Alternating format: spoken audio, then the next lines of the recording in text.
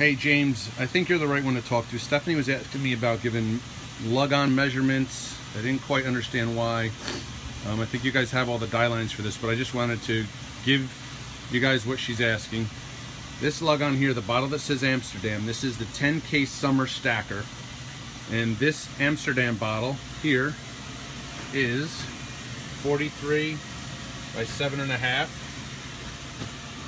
Something about covering those up with a lug-on. So that's the one side.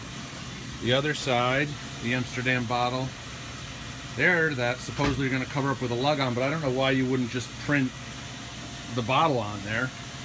Uh, that's 43 by 10 and 3 quarters. 43 by 10 and 3 quarters is that one. And obviously the other side is the same. Then we go on to the 5K stacker. Summer. Summer 5 case and you have your lug on up top which is eight and a half by 12 and three quarters. Eight and a half by 12 and three quarters. You have your side which is six and three quarters by 26 and five eighths.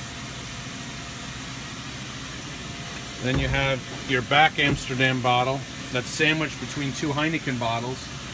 So this one here is 39 by 9 and 3 quarters all right, but give me a call because um, it doesn't make sense that you're going to try to cover that art when you guys can just put a new bottle in there and save money.